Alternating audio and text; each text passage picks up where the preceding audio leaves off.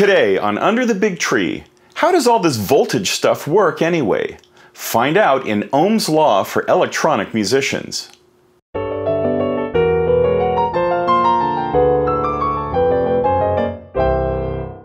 Hello, and welcome to an episode on the fundamentals of electronic music. This series answers some basic questions for folks who are starting on their path of creating electronic music. It's also good for those of us who can use a bit of a refresher from time to time. So let's go learn something. Today, we're going to talk about voltage, what it is, how it works, and how it is related to modular synthesis. It seems that you can't talk about modulars for very long before voltage enters the conversation. This is because so many different aspects of modular are defined in terms of volts, which is the unit that voltage is measured in. Power for modular is measured in three different voltages, plus 12 volts, minus 12 volts, and plus 5 volts. Pitch, or note values, is measured in 1 volt per octave increments. Control voltages are exactly that, an electrical signal that measures somewhere between 0 and 10 volts, and the output amplitude or volume of a signal has a range up to 10 volts peak to peak as well. So voltage is really, really important in modular synthesis. What is it exactly? Voltage can be thought of as the pressure that pushes electrons down the wire. It is the difference in charge between two points in a circuit. The larger the voltage, the more pressure there is pushing the electrons. And the various aspects of your modular circuit react based on how much voltage it is receiving. This makes intuitive sense. A 9 volt battery is stronger than a 1.5 volt AA battery. A 5 volt output signal is louder than a 1 volt output signal. And in the agreed upon system of pitches in the Eurorack format, a 5 volt signal sent into the frequency input of an oscillator will result in a pitch that is higher in frequency than a 1 volt signal sent to the same place. Okay so far? So let's get a little more theory going by examining two more terms, resistance and current. Once we know what those are, then we can learn the magic of Ohm's law. Let's start with resistance. Resistance is the opposition to current flow in an electronic circuit. This is not a bad thing. Resistance is merely the size of the hose that the electrons are trying to flow down. Or you can think of it as a doorway that a bunch of people are trying to get through. The bigger the doorway, the more people can go through it at the same time. Resistance is measured in ohms, which is displayed as the Greek letter omega. If you've done any DIY, then you know that there are tons of resistors in electronic circuits. Each resistor has a resistance value and is a different sized hose that lets more or less electrons through depending on the size. One thing that's important to remember is that the larger the value of the resistor, the less electrons can flow past it, not more. So, a resistance of 220,000 ohms is comparatively a much smaller door than a resistance of 10 ohms, which has almost no resistance at all. One more term to learn, current. Current represents the amount of electrons that are actually flowing. I remember it by thinking about the current of a river while standing on shore and seeing how much water is flowing past me. Going back to our doorway, how many people can walk through that door in one second? That's current. As stated above, if the door is wider, then more people can walk through at the same time. But now, let's pretend that the door is in the middle of a wide open space where people are leisurely strolling along and walk through the door without pushing or bustling. Now, let's take that same door and put it in front of a concert venue where tons of people are pushing each other through the door to get a good seat for their favorite band. If there is more pressure for people to walk through that door, more people will go through the door at the same time, right? So, we know that the size of the door, the number of people, and the pressure pushing those people through that door are all connected together. This tortured analogy is what Ohm's law is all about. The relationship between current, voltage, and resistance is represented by the simple equation V equals IR, or voltage equals current times resistance. We can look at this as a triangle, like this.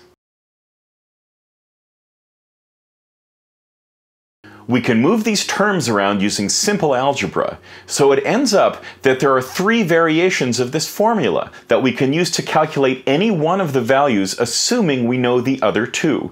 So we have V equals IR, or voltage equals current times resistance. I equals V divided by R, or current equals voltage divided by resistance. And R equals V divided by E, or resistance equals voltage divided by current. Thus, we can see that the values of these things each affect the others. If there is less resistance for the current to flow through, we will have a lower voltage. If there is more voltage pushing the electrons down the wire and the resistance doesn't change, then the current increases. More people are being pushed through the door at once. If the resistance doesn't change and the current increases, then the voltage goes up too, because there must have been more pressure to cause the current to rise, and so on. Let's talk about units of measurement for a moment. Voltage is measured in volts, resistance is measured in ohms, and current is measured in amperes or amps.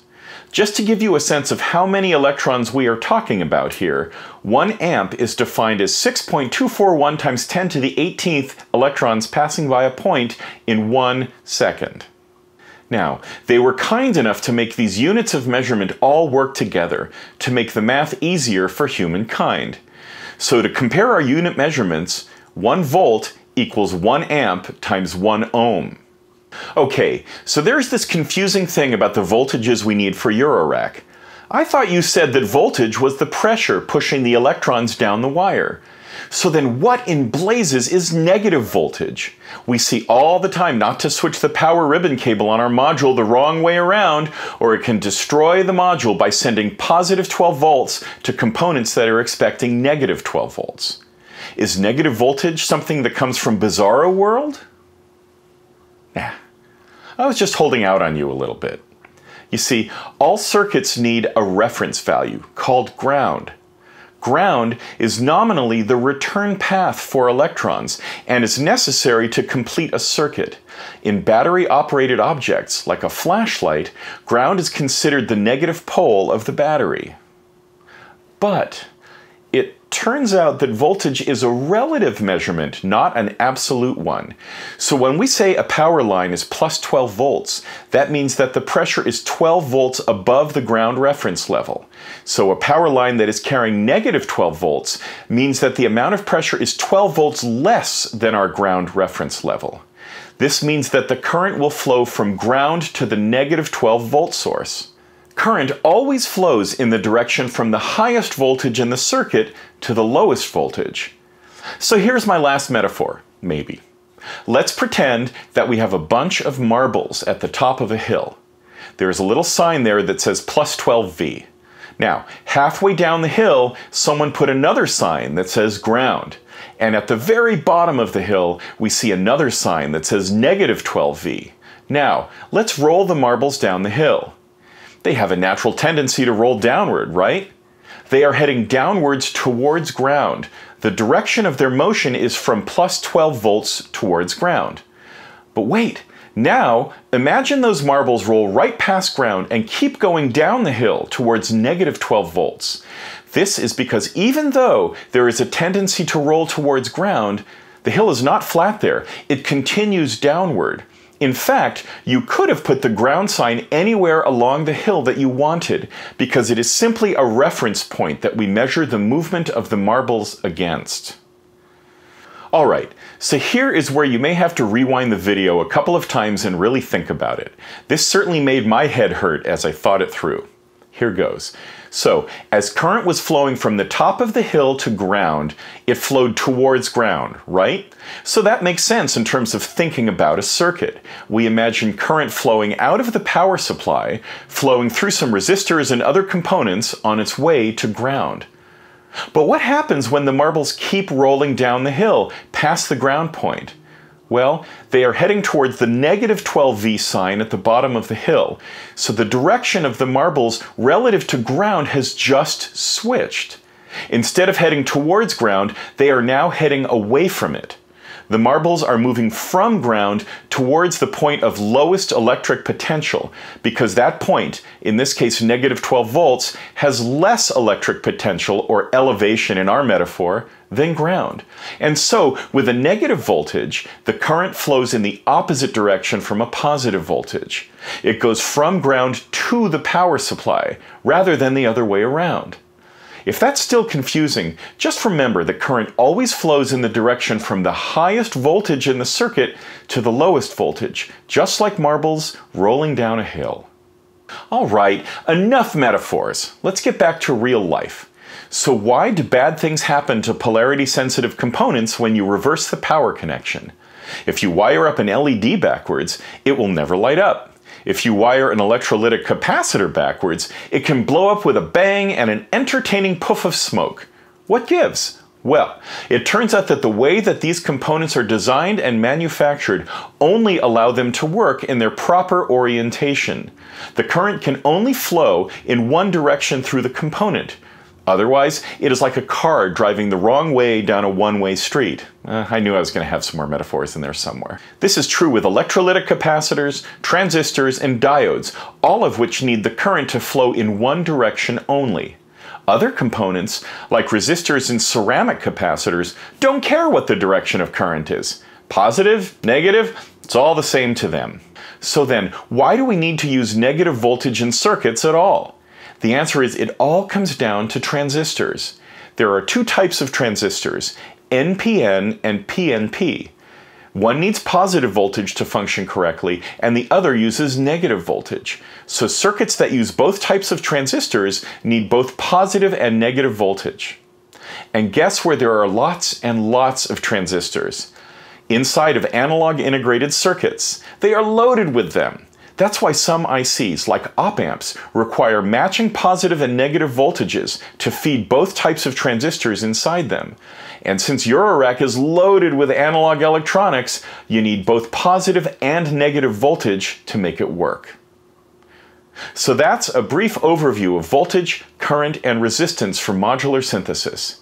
I know that this stuff can be confusing, and I certainly get confused with it myself.